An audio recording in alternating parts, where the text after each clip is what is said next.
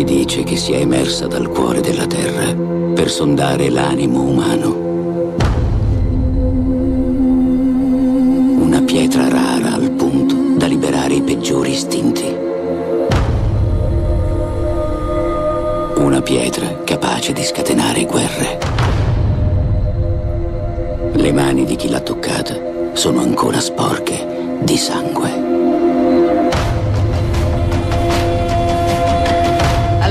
Sei? Un contrabbandiere? Un giornalista. Vuoi rubare il diamante? Quel diamante è il mio lasciapassare. Se sei ancora vivo è solo perché non hai detto a nessuno dove si trova. Dammelo. Ci dirai dove è nascosto.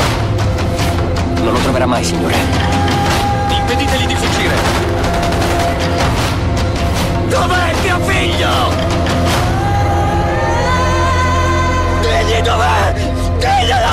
mia famiglia, la mia casa, ho perso tutto!